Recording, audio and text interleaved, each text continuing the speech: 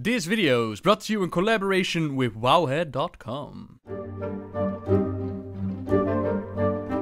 Hello everyone. The Mag'har Orcs, and I hope I pronounced that one right, they're going to become an allied race for Battle for Azeroth, and despite there being a small period of time in which people actually thought that they might go Team Alliance, they are joining the Hordes. But what are the Mag'har, and what is the story that we know about them? That is what we're going to be talking about today. I'll start the video off with the non-spoiler stuff, so I'll explain the backstory of the Mag'har of our reality and the alternate reality. And once we get to the spoiler part, I'll give you a heads up so you can decide like, okay, I want to know what's going to happen in Battle for Azeroth, I want to know how we are going to get the Mag'har, or you could decide to turn off the video. The difference when it comes to being a Mag'har orc compared to all the other orcs, that can be explained with the translation of the words. In Orcish, it simply means uncorrupted. There you go, that's the story to Mag'har. You are uncorrupted, therefore you are that kind of orc. I could end the video there, but let's talk a little bit more about their story. Mag'har, those amongst the orcs that were not tainted by drinking the demon blood offered by Gul'dan the Legion, or the use of fel that not only changed their skin color, it also corrupted their race. The Mag'har are those lucky or wise enough to remain uncorrupted, and we kinda have two variations.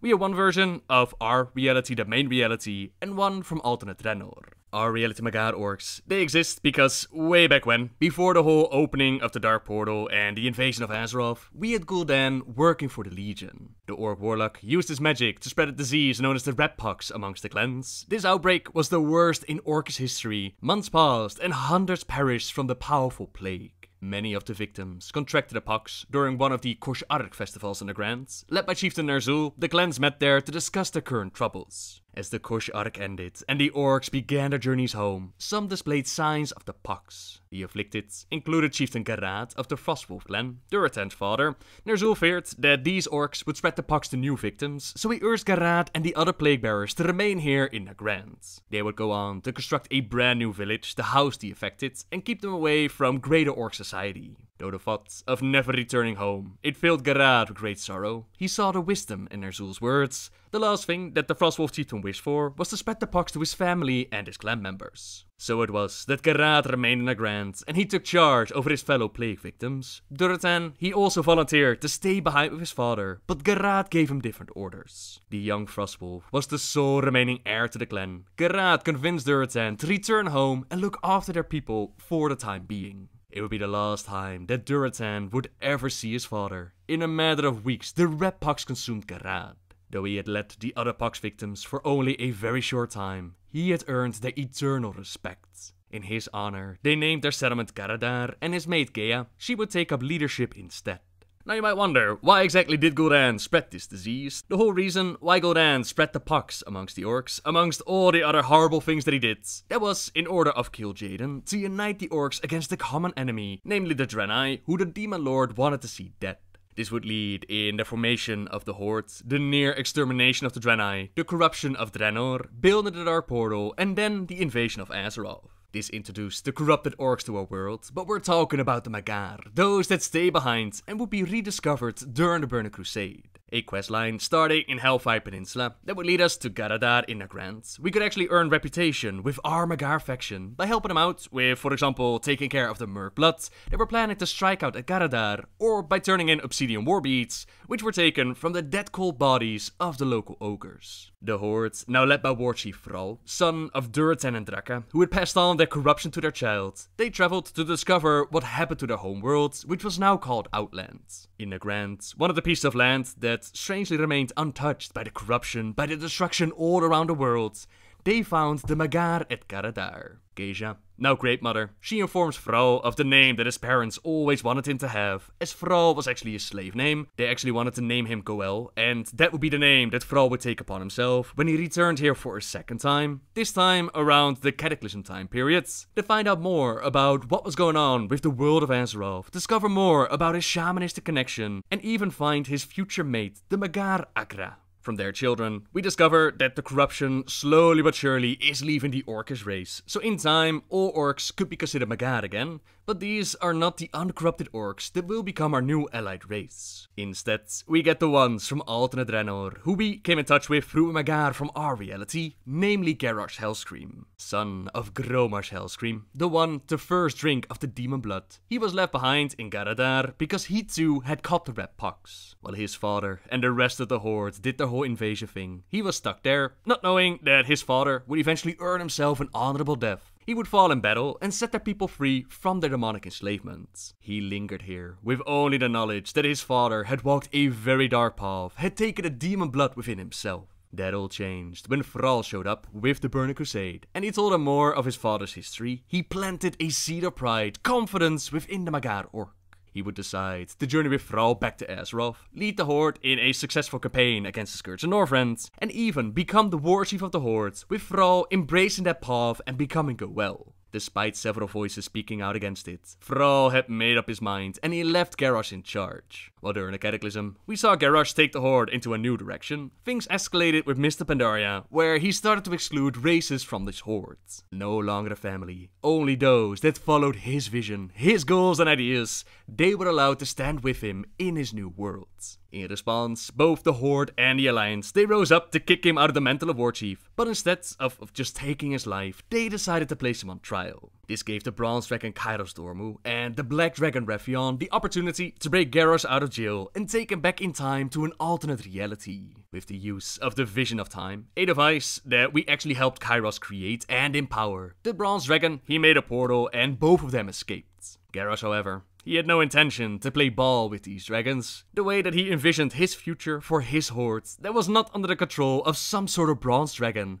So Garrosh, he picked up a shard from the Vision of Time and he murdered Kairoz. With his partner in crime defeated, Garrosh had the near impossible task of convincing his father. And let's not forget that in this reality, Grommash was not actually his father, but all the same, he had to convince the war chief of the Warsong clan of the future. As a complete stranger, he stood there and he told the war chief, Grommash Hellscream, I have traveled far and sacrificed much to stand in front of you. I am here to defy what fate has dictated for you and all orcs. Slavery, the loss of our souls, and everything that makes us great. At first, Grommash just laughs at his face and he declares him to be a lunatic, but Garrosh has to convince Grom. He explains to the chieftain that the path of the Warsong slavery will not come from war or defeat. Your fate will be accepted freely and gladly, he said, raising his voice. And it will be you, Grommash Hellscream, who will insist on being first to tie yourself to the Orc's new masters. The rest will follow. We will never recover. Now Garrosh had insulted Grom's honor and wore some mercy. It only goes so far. Four guards are told to duel Garrosh, and he actually manages to win the fight. This gives him a chance to talk to Grommash, and he explains more about his motivations. He shows him the shard taken from Kairoz, and he guesses that the elements at the Stones of Prophecy, the same place where Thrall told him the full truth about his father, that there they'd be able to show Grommash the future. Once they reach the stones, the Elder Zanak already know that they're coming. The elements, they've been rising up since they can feel that Garrosh does not exactly belong here. The Elder treats Grommash with respect, but he gives Garrosh nothing but venom. He goes as far as to deny Garrosh access to the stones, but Garrosh is actually okay with this, as long as Grommash is allowed entry. Inside the stones, Grommash says, The stranger believes the fate of this world rests upon my choices. He lifted the glass. He also claims the proof lies within this. Prove him wrong and he will die here. Show me the truth, one way or the other. The elements respond, and Grommash is picked up by a great swirl of air. Inside, he sees the truth of Garrosh's words. He sees how the Horde is formed, how they slowly turn green, how the powers of the Warlocks are embraced, and how Gul'dan offers them the demonic blood. He sees how the events took place in our time, and how he himself steps up to be the first to drink it. Grommash was told by Garrosh that he did this not because he was weak, but because he would not let any other orc take such a risk first. This was a lie, although perhaps a lie that Garrosh told himself to make his father look better, but a lie nonetheless. Grommash wanted to be the first, because none would be stronger than him. Not for a moment, he would never be weak. The visions continued as Grommash saw his future unfold. But in the meantime, the Elder saw the same visions as Grommash. He was terrified to realize their future. And at first, Garrosh was being very kind to the old orc, but then the orc realized what their future could become. Peace. They might actually see peace. The visions did not stop with just the bad part of the hordes. They continued showing Thrall and the new horde that he tried to build. Hellscream can bear it. He can overcome it. The corruption will not be the end. Tears streamed down Zanak's face. His voice was laced with joy and hope. One world in ruins, but the other stronger than ever. Hellscream's sacrifice saves us all. You've seen it. Garrosh has seen this future before. Yes, the Horde and the Orcs, they were corrupted, and their planet was in ruin. But because of these actions, a new Horde was born under Thrall's leadership. Grommash would go on to sacrifice himself to stop Mannoroth, but as a result, Azeroth itself would be stronger and able to stand against the threats of the worlds. Garrosh, he disagrees with that future. Thrall's vision of the Horde, one trying to aim at peace with the Alliance. That is the precise thing that Garrosh turned his back on when he became War Chief of the Horde, and he does not want that future to happen. He wants this Horde to become conquerors and take Azeroth for him, so he places his hand over the old orc's mouth and nose and slowly suffocates the life out of him. Now Zanak won't be able to influence Grommash, Garrosh then quickly makes his way to his father, and he tells the guards to pull him out of there to end the vision before Grommash knows too much, before he finds out about Thrall and the rest of the story. Gul'dan, at this point, has already been working on getting the clans to fight the Draenei. It's not going to be easy, and they only have a few more months, but they will have to convince the rest of them to not touch Gul'dan's so-called gift. Garrosh has proven to have a heart of a Warsong and remains at Grommash's side. He stays there to change the past and create a new horde. He helps create the Iron Hordes. Drink, Hellscream. Claim your destiny. You will all be conquerors. And what, Gul'dan? Must we give in return? Everything.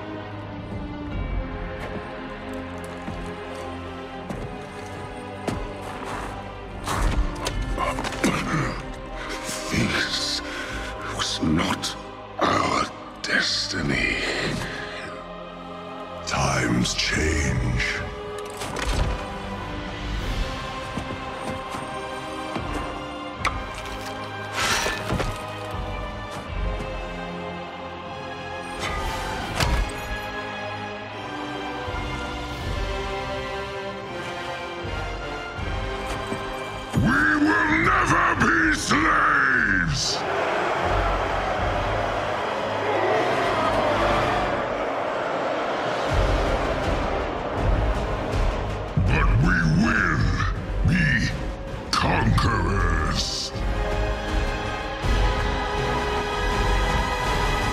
So a brand new horde was formed. Uncorrupted, Mag'har, led by War Chief Grommash Hellscream. They still built the Dark Portal and connected it to our Azeroth, presumably with the piece of the Vision of Time, and they empowered it with the now imprisoned Gul'dan, together with Cho'Gall and Teron'gor of his Shadow Council. But like Garrosh said, times change, and Azeroth was no easy pickings. The Horde and Alliance, they rose up and traveled through the Red Portal into alternate Draenor. They liberated the Shadow Council, including Gul'dan, to disconnect the portal, which pretty much stranded them there. But heroes, they rose up and step by step dismantled the Iron Hordes. Garrosh was finally taken care of once and for all. While the many defeats that the Iron Horde suffered, it actually presented an opportunity for Gul'dan. How dare you show your face here, Warlock? You promised conquest, Grommash, yet brought these clans to ruin. Your men have died for nothing. My soldiers died with honor. Did they? And what about your son?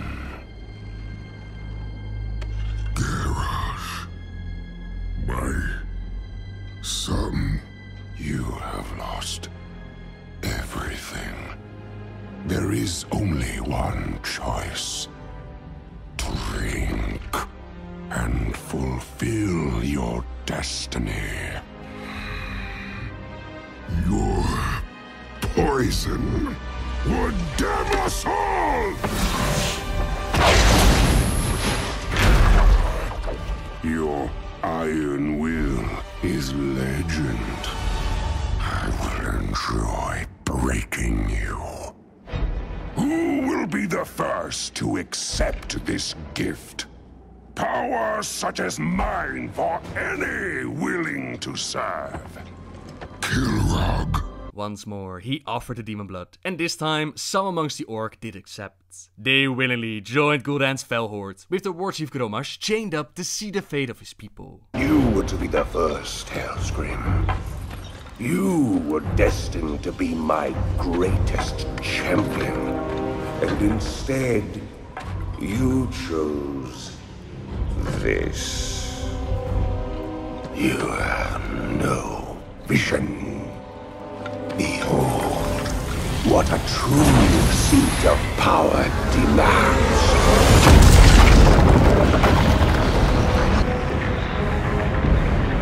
A citadel of hellish fire worthy of my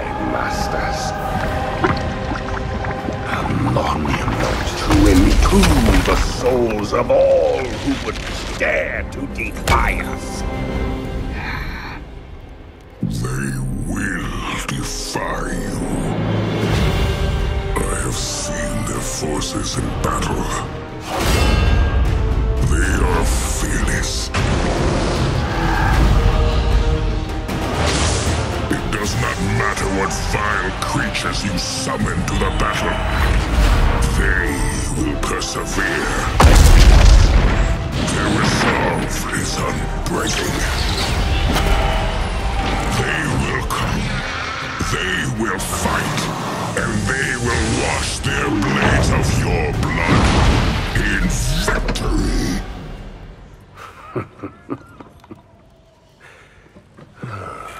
Fight if you must, Hellscream.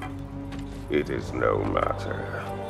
In the end, we all serve the Legion. But defy him we did, despite the might of the Legion and everything else that Gul'dan was able to gather within Hellfire Citadel. We charged in all the same, and we rose up to the challenge. Grommash is liberated and stands with us, Durotan, Yrel and Khadgar. As Gul'dan summons our greatest challenge yet, he summons Archimonde the Defiler. Yet not even he was able to hold the line, and while in his final moments he was able to send alternate Gul'dan to our reality, Draenor is set free. So what happens to the war chief that actually started all of this? It's done. Gul'dan failed. Draenor is free!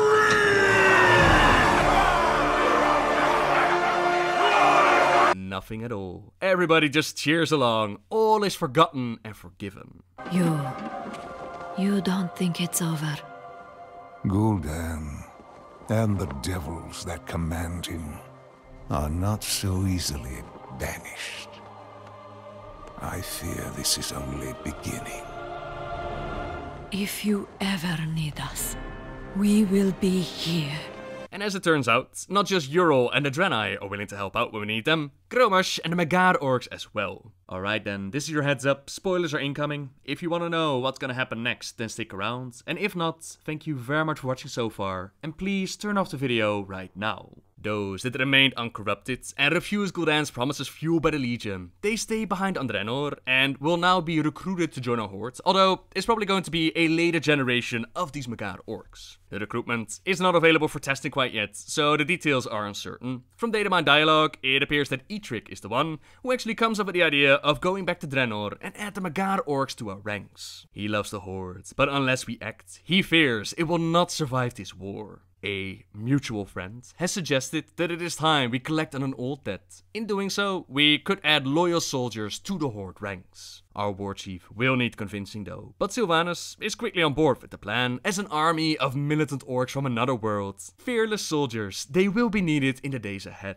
Apparently, we're going to use the Bronze Dragons to reach this alternate Draenor, as the door to that realm has been closed. Fear not though, they've obtained a fragment of the Vision of Time, and they believe it can open the way again. Some way, somehow, we convince the Bronze Dragons to help out with this mission, and we make our way back to alternate Draenor. Chronicles Volume 3. That actually has a pretty cool description on the nature of time and alternate realities. It says, In all known realms of the cosmos, time flows forwards, ever forwards. Chaotic energies in places like the Twisting Nether that can affect how quickly it flows, but it only flows forwards. Once an event happens, it cannot be changed. These events and choices, made up of all the creatures and forces in the cosmos, they join together like a river, sharing the same reality. Different choices and different possibilities, they naturally spin off the river of time, like small creeks and estuaries, ebbing and flowing for a while. If these shadows of what could have been are left alone, they will eventually dissipate into nothing. If efforts are made to preserve them or alter them, they can indeed remain in existence indefinitely.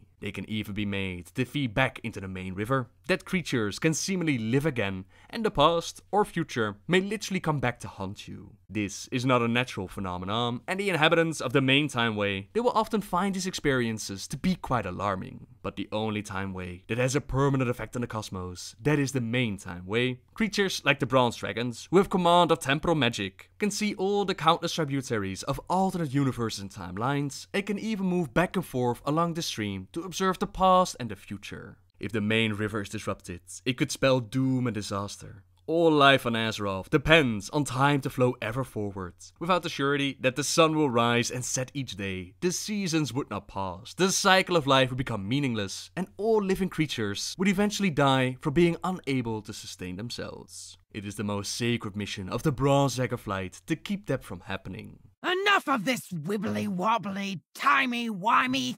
Ah, just let me smash stuff. What's cool to see is that the Datamine model of Grommash that has him aged quite a bit since last time that we saw him. I'd imagine that the new portal we're going to create, it's not like the first one, as in taking us back 35 years in the past. Instead, it's actually going to sync our timelines, meaning that for the alternate orcs, 35 years have actually passed. 35 years on alternate Draenor, orcs and Draenei living side by side. What kind of world would that be? Try spending a few decades trapped on a planet with fanatical Draenei and see how you like it! Apparently, not all that great, but not to worry though, the Horde is in need of loyal soldiers, and its overlord Geya'rah that pledges her soldiers, the Mag'har orcs to the Horde. Honor is everything to them, and they will not take the oath lightly. We, together with Eitrigg, have proven our courage and nobility. If we embody the heart of the Horde, then they will gladly fight beside us. I really wonder how all of that's going to fit in, with someone like Saurfang actually stepping away from the Horde because of the whole honor matter. But hey, maybe the unknown bits of the story, those are going to explain more. The Mag'har, they come in different skin variations, giving you the option to represent different kind of clans, which is also portrayed in their racial ability, besides the standard 10% mount speed increase, a 10% duration reduction of poison, diseases and curses, a 10% pet health increase, they also have an ability called Ancestral Call. This invokes the spirits of your ancestors, granting you their power. With a 2 minute cooldown, it will give you a random buff linked to a different clan. For example, Ferocity of the Frost Wolf, that increases your mastery, whereas Ritual of the Laughing Skull, that increases your critical strike. Their shamans have a very interesting totem design, as it resembles the Cup of Unity, that with Gul'dan used to scoop up the delicious demon blood and had them to drink. Let's not forget that Grommash actually refused the cup, so perhaps that design was chosen to symbolize not becoming their slaves or not wanting to be part of the Legion, but actually the exact opposite, to honor that moment in which Grommash changed the future. The choice to remain Mag'har and not enslave the race to the will of the demons. Now, besides shamans, they can also become warriors, hunters, rogues, priests, mages, and monks. I've probably seen the most comments about the priest parts, but orcs wielding the light, that has been a thing ever since the Burning Crusade. In Hellfire Ramparts, we had Watchkeeper Gargolmar, who came with Hellfire Watcher ads, who did indeed use the light to heal him. This could have simply been a fluke though, yet alternate Draenor that also have the whole Draenei and the Naaru to hang out with, not to mention the history in Shadowmoon Valley with the Darkstar and the Void. So the Priest one is not really that surprising. I personally found a monk to be more confusing and more interesting, but it's very possible, as you guys pointed out during the stream, that our time on the planets, our monks that stepped through the red portal, they actually taught their ways to the Mag'har, and they've just taken it up. Now I'm really, really curious on how that recruitment scenario is going to play out. Who exactly is that mutual friend Eitrigg is talking about? Is it perhaps Wrathion or Chromie? Why are the Bronze Dragons actually helping us out with this? Do they feel guilt? Uh, are they forced to? Or can they see that this is the right path for time to take? What is alternate Draenor going to look like 35 years later? I can't wait to see Old Man Grommash, apparently in the Gorgrond area, as we have a data mine map to go along with this. But that for now is, is future talk, and you are up to date on the story of the Mag'har. If you're interested in more details about all the things that we talked about today, then make sure to check out the related about article in the description down below. Thank you very much for watching everyone. Subscribe if you like my videos, hit that bell if you want to be notified, leave a like, you know, all that good stuff. And until next time guys, see ya!